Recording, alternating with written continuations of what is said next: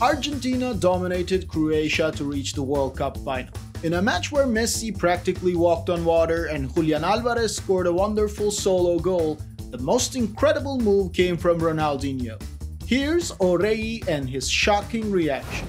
Inspired by none other than Leo Messi, the Albiceleste played what looked like their most comfortable 90 minutes in Qatar and booked their place in the final after a 3-0 victory. The game looked tight until the 34th minute, but once Julian Alvarez was taken down inside the box and Messi opened the scoring from the spot, the floodgates were open. And the first thing that burst out from the gates was the young prodigy every Argentina fan is in love with, Julian Alvarez. Just 5 minutes after the first goal, while the checkered ones were still in shock, the little spider received a pass from Messi in the last few meters of his own half in a counter-attack situation and he started running with the ball with nothing but bad intentions. As Alvarez took his chance in a 1 vs 3 counter-attack, football gods must have appreciated the 22-year-old forward's courage and determination.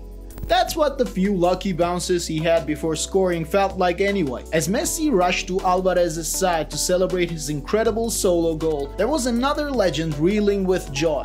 Ronaldinho, an icon of Argentina's biggest rival, was all smiles and clapping. Now, we all know Julian Alvarez is one hell of a player with a bright future ahead, but him getting praise from Orei while playing for the Albiceleste in a World Cup where Brazil is eliminated was kinda too much. Maybe Ronaldinho was happy as it was the Croatians who eliminated his beloved Brazil. Who knows? Maybe he was just happy for Leo, the kid he knew from Camp Nou who was now one more step closer to his dream. Messi and company made sure to give one more goal to their passionate traveling fans in the second half. And the way they did was a whole nother story. The Pulga left half of the world speechless and setting up the assist once again for Julian Alvarez. The Albiceleste captain got the ball around the halfway line and decided to take on the man who's considered to be the best center back of the tournament. Croatia's 20-year-old masked hero, Josko Gvardiol, had every physical advantage imaginable against Messi.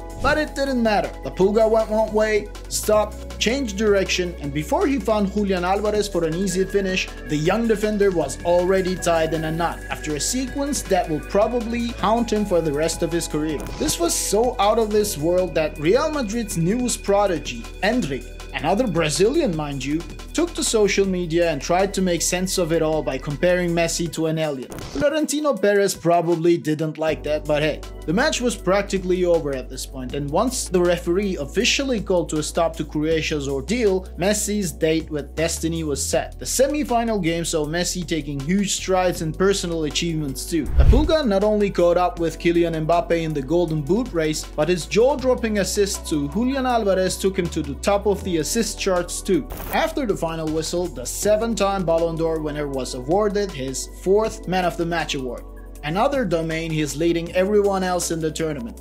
And that's still not it. Messi tied the record for most appearances at the World Cup with his 25th game on the biggest stage of international football. And since he now got the final ticket in his pocket, that means he will surpass Lothar Matthäus in a few days. Did we say that he's now ahead of Gabriel Batistuta and the top World Cup goal scorer for Argentina?